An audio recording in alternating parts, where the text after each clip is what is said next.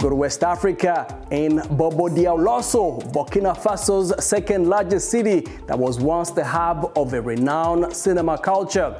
However, today it does not have a single active movie theater. Its cinema hall is now privately owned and is locked to the public.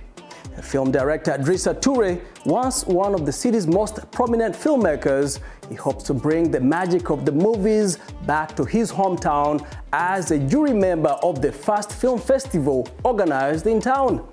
Here is more from Reuters. Rust has almost erased the white painted letters spelling program on a sign outside the sand-colored building that was once the only cinema in Burkina Faso's southwestern city of Bobo Dioulasso.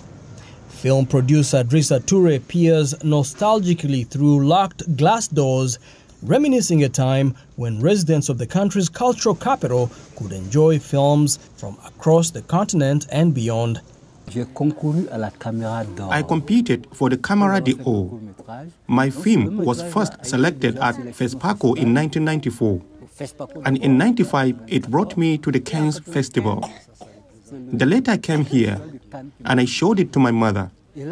I had already sent my mother to Mecca, so that she would feel the strength, the happiness that this letter brought me.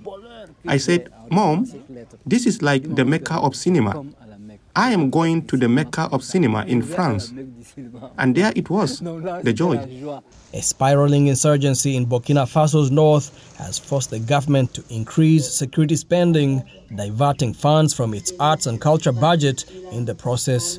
Heartbroken but not discouraged, Touré judged a week-long film festival at the start of this month that showcased a selection of African productions in a bid to revive local interest in the art.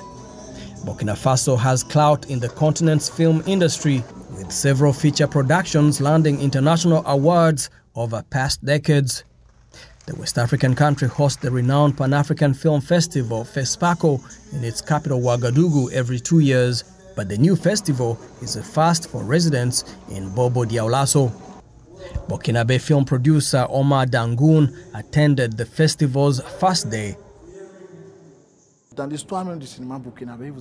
in the history of Burkinabe cinema, you will see that many great names have come from Bobo Dioulasso.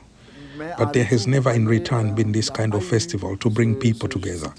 It's true that there have been meetings, but a festival like this represents a moment of exchange, sharing, learning from elders, and passing on to the new generation too.